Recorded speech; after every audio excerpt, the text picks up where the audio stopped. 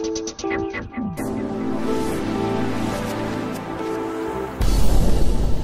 you.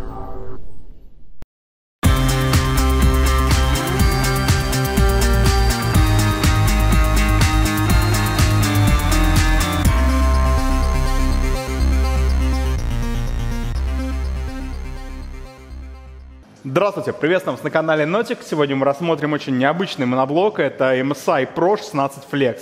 Это специализированное устройство, не для каждого оно подойдет, и мы сейчас расскажем вам о нем побольше. Наш моноблок обладает 15,6-дюймовым дисплеем с разрешением 1366 на 768, э, глянцевое покрытие, и это сенсорный дисплей. Дисплей, ну, невысокого качества, но от этого аппарата это и в принципе не требуется. Он здесь есть, он сенсорный, и это более чем прекрасно. Здесь также есть еще колонки, ну, в смысле звук, в смысле вдруг он вам нужен здесь, ну, он есть.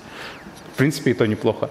А еще здесь есть небольшая особенность, что отличает конкретно это устройство от большинства других моноблоков. Здесь нет никакой мышки и клавиатуры в комплекте. Они просто ему не нужны, плюс это позволяет немножко удешевить э, в результате этот конкретный аппарат. Кстати, стоит сказать, что весит он немного, всего 1 килограмм 890 грамм. Задняя панель у нас металлическая, здесь имеется ножка, можете какая угодно ее вот так вот делать, как вам ну, понравится. Э, в комплекте также идут специальные ножки, которые фиксируют жесткость, чтобы ничего не произошло, он случайно не наклонился. А еще его можно повесить на вес крепления, переходник необходимый идет в комплекте.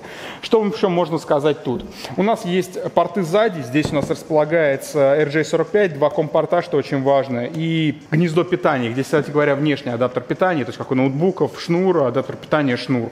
Основные порты еще имеются здесь, это две USB-шки, есть даже HDMI, то есть можно еще какой-нибудь дисплей подключить, если вдруг там, не знаю, вы с терминала сюда набиваете заказать там, не знаю, два бургера, а сверху большой появляется то, что два бургера в готовке. Ну, собственно говоря, для таких вещей покупают подобные аппараты. Есть э, картридер, есть комбинированный аудиовыход, сверху у нас имеется кнопка включения и качельки громкости. Что касается производительности, не самый главный аспект, что касается конкретно этого моноблока и, в принципе, такого рода устройств. Здесь у нас четырехъядерный Celeron, есть 4 э, гигабайта DDR3L оперативной памяти, кстати, максимум здесь можно установить 8, там еще один слот пустой имеется. У нас 500 гигабайтный жесткий диск с частотой 7200 э, оборотов. И, в принципе, это все. Здесь даже не установлен Windows, потому что он здесь не нужен. Вы спросите, наверное, зачем нужен 15,6-дюймовый моноблок с сенсорным дисплеем, зачем, кому и вообще для чего его производят. Подумайте, что Странные люди, зачем они делают MSI, они, ну, зачем? А я вам скажу, зачем, если вы вдруг не в курсе. Эти аппараты покупают э, используют как терминалы в первую очередь. То есть из них можно сделать кассовый аппарат. Там есть э, два компорта, которые мы уже показ, показывали. К нему можно все что угодно подключить, пожалуйста.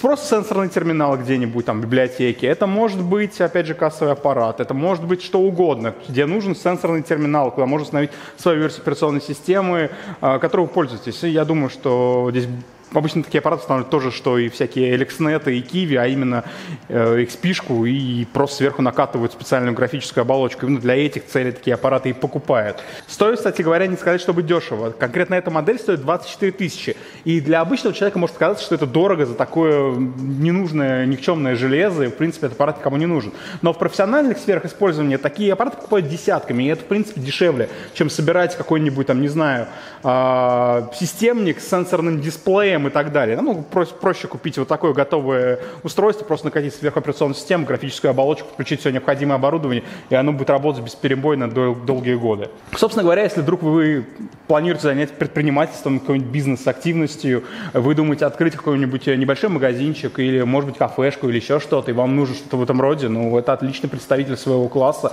Стоит он, конечно, дороговато для обычного человека, но если планируете делать с помощью него бизнес, то это не такая же большая трата. Большое спасибо за просмотр просмотр и до свидания.